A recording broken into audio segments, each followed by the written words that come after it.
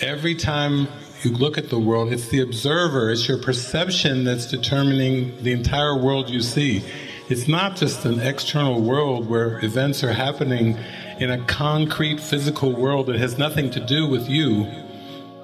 It really has the person that you believe you are and the world you perceive are all part of a projection that the one mind is projecting.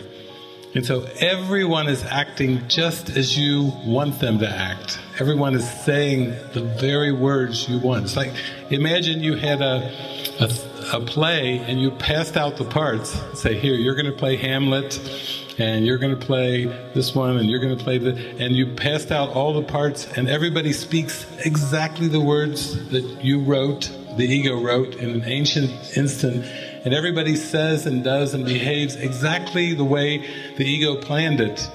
And so the script is written and it's just a movie playing out of your wishes. It's a motion picture of your mind. That's why you're not a victim, is because the mind is doing it to itself.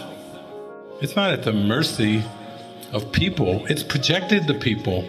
The people are saying and doing everything that the ego told them to do, and then the Spirit is trying to get you to come back, back, back, all the way back, and see that you're dreaming the whole thing, that you're not even a character on the screen.